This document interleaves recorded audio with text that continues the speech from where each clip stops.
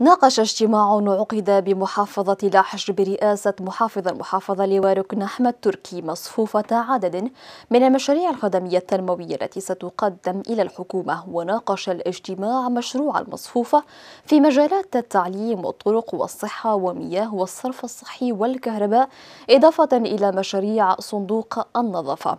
وأكد المحافظ على أهمية توحيد الجهود لتطوير البنية التحتية في المحافظة موجها مدراء المكاتب التنفيذية والخدمية سرعة إعداد مصفوفة المشاريع التنموية.